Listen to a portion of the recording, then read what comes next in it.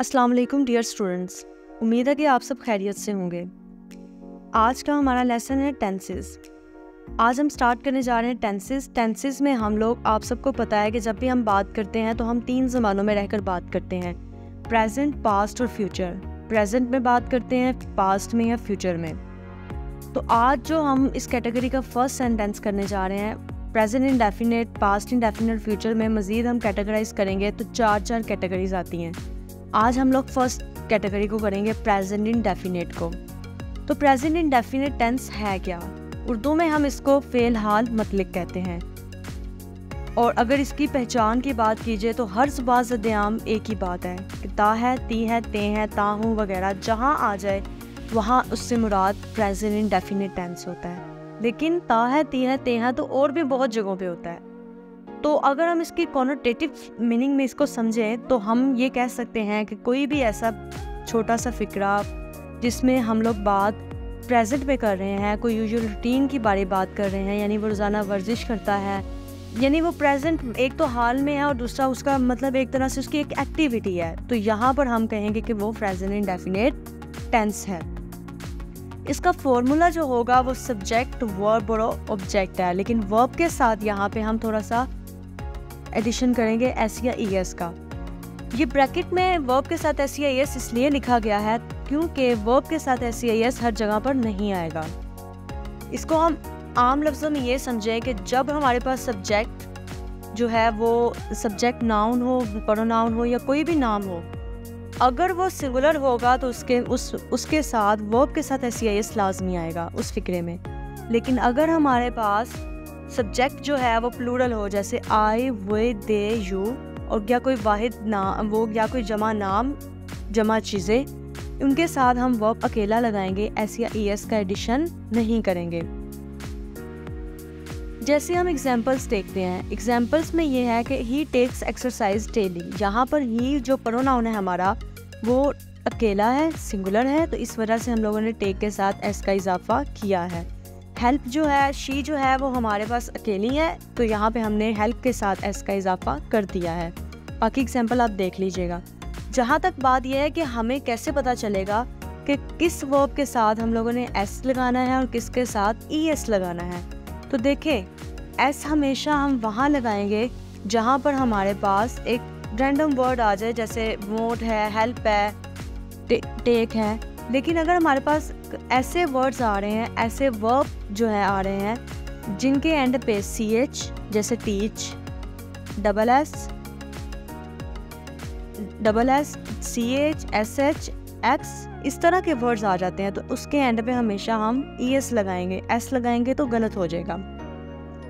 Next हम लोग इसकी एग्जाम्पल्स देखते हैं। आप सबके सामने स्क्रीन शो हो रही है और यहाँ पे आप देखें, एक अच्छा मुसलमान बाकायदगी से नमाज़ अदा करता है। यहाँ पे एक अच्छा मुसलमान सिंगुलर है।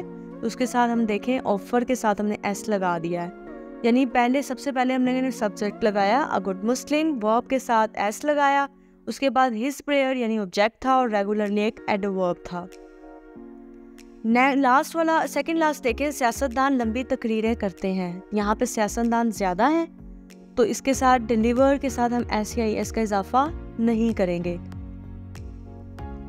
नेक्स्ट हम लोग नेगेटिव पे चलते हैं। जब हम लोग सिंपल सेंटेंसेस बनाएँगे तो सिंपल सेंटेंसेस में हमारे पास वर्ब के साथ एस सी आई एस आएगा। लेकिन आप लोगों ने ये बात याद रखनी है कि सिर्फ़ प्रेजेंट इंडेफिनेट टेंस ही ऐसा टेंस है जिसमें हम लोग सब्जेक्ट वर्ब के साथ एस सी आई एस का इजाफा करते हैं। बाकी पूरी इंग्लिश में कहीं भी आप किसी भी टेंस में सब वर्ब के साथ कभी भी एस सी आई एस का इजाफा नहीं करेंगे।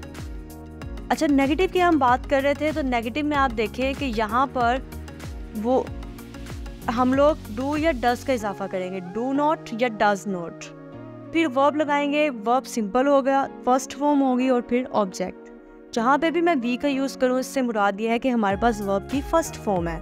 क्योंकि अगर सेकेंड या थर्ड होगी तो हम उसको मेंशन लाजमी करेंगे।